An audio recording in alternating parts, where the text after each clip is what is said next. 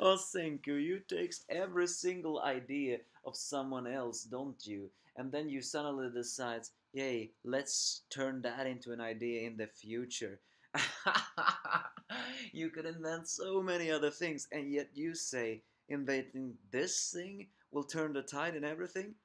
Granted, they may be right, but still. oh my god, this is actually funny. It weren't for the fact that despair hangs in the air, I would actually think that this is very well done indeed. I mean, this is a very well done chapter indeed. I actually enjoy this more than many of the other chapters of this week. Yes, this is the Doctor Stone chapter 50, and we see what happened one month ago in the Tsukasa Empire.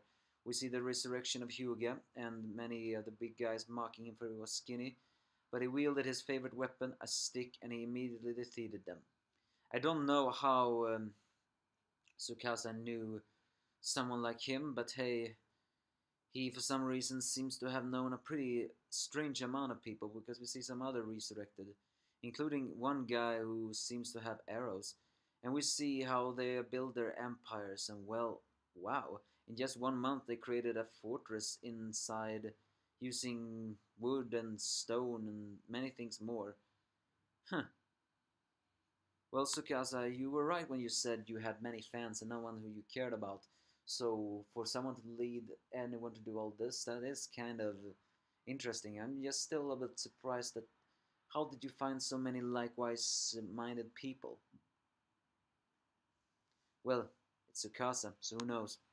Either way, he begins to talk to Hyuga about how he is thankful for the fact that nature has been blooming like this and there is no strife in this world.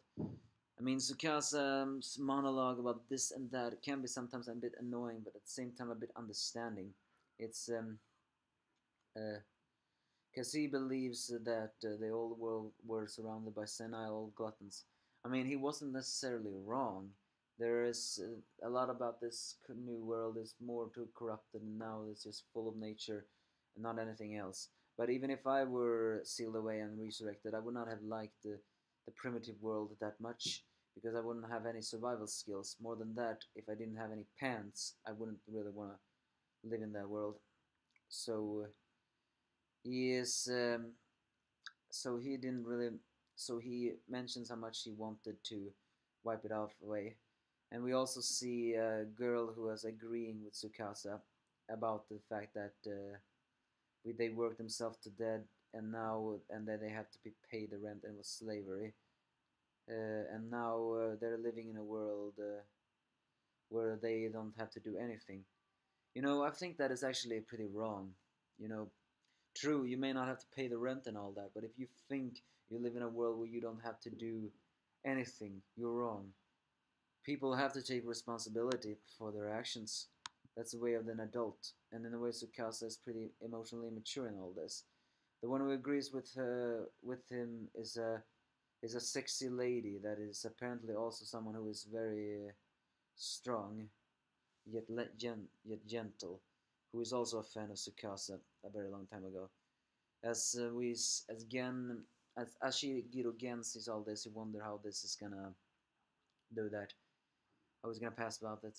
Tsukasa wonders about the, the what Hyuga thought about the world a long time ago, and Hyuga agrees with Tsukasa's views about the fact that it was not a utopia. Tsukasa keeps keeps on talking about the um, the the fact that if uh, were those who could invent weapons be resurrected now, then everyone would uh, then anyone would die. So uh, I mean, the peace would be broken. So he agreed the fact that uh, a purgatory was necessary in order to uh, in order to make sure that uh, no one would invent such mad madness again. Well, it was madness. But then Tsukasa began to talk about Senku, the guy he called a friend, and uh, who he knew is the only one currently who could resurrect uh, the everything with, um, well, you know, well, damn it, why did that sound always have to be that? With the power of sound and stuff like that. So not, sorry, I was distracted again. Not the power of sound, the power of science. Ugh. So he will. Um, so in order to uh, purify this solid humanity, he, uh, Tsukasa says he's willing to dirty his hands as much as it takes, and that means including killing a lot of innocent people. You really are misguided in that way, Tsukasa. Either way, Hyuga returns and tells to Tsukasa that uh, Senku lives, which he reacts with a with a stoic shock. With that, they now begins to plan the the primitive Ishigami village. Now begins to think about what they have to do with that. Uh, um, uh, he mentions the the restoration form and how easy it is, but mentioned also they needed nitric acid, and they mentioned they can make it out of poop or poop or shells, but it will take ridiculously long, and they need a shit ton of materials. So, um, and without that nitric acid, they couldn't make gunpowder for guns, so they cannot uh, do in all of this. So, um, what are they gonna do? Tsukasa has the advantage in numbers and amassed a huge force that is growing every day. So, um, so no. Ah, damn it. Uh, not Kyokai. So, Ko, Kokai uh, mentions about what are they gonna. They need to do a preemptive strike. However, Senku says they can do that with a fun scientific a- a- ingredient, one that uh, will is the most powerful weapon in all of human his- history. Ashiguro again asks if that is nuclear weapons, but no, Senku says it is nothing more than regular cell phones. The, uh, a gag. Uh, well, and the funny thing, in one of the earliest chapters, I don't know what it was, was it chapter 8 or 7? Um, Tai, you all talked about let's resurrect cell phones and stuff like that. Senku decides he's gonna invent a cell phone. Ashiguro again explains to all the villagers what cell phone is, and they of course react. Uh, many of them react with shock because there's no way something like that existed. While the exciting groups, was including uh, uh, the old Smith and of course um, uh, Senku's protege, all the things is amazing. But uh, asks if how can that be a weapon? and uh, Senku reveals that if they can communicate over uh, at uh, uh, over each other in this event, no. By communicating with each other over distance, they can relate information to one another, and with that information, they can coordinate their attacks and plan preemptive strikes uh, without anyone being none the wiser. Especially if they had double agents.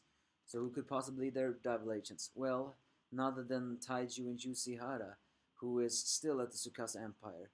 And what we know, they are still on on Senku's side. At least I hope they are.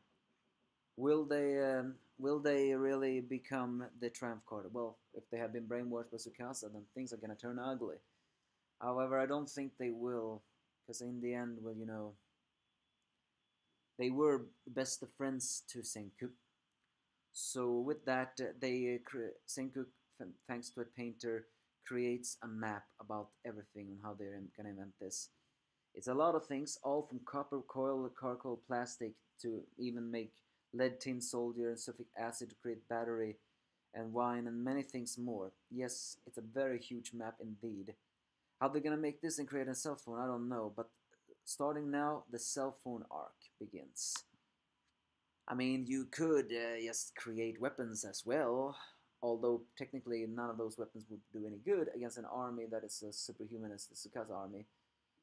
Still, though, I really hope you have more than just a cell phone plan, Senku, because in you need a transmitter to communicate with something like that. I mean, Senku is smart enough to create that, but still, how are they going to create that? More than that, will Taiju and Yusihara really become the effective double agents as they've been all this time? I don't know. The cell phone arc uh, starts now. All in all, greatly enjoyed this chapter. Was more of a hope-bringing chapter than a lot of the others, although not not at the beginning, of course. That was quite scary. Despair is hanging in the air, But I greatly enjoyed this chapter. You give me your thoughts if you have any.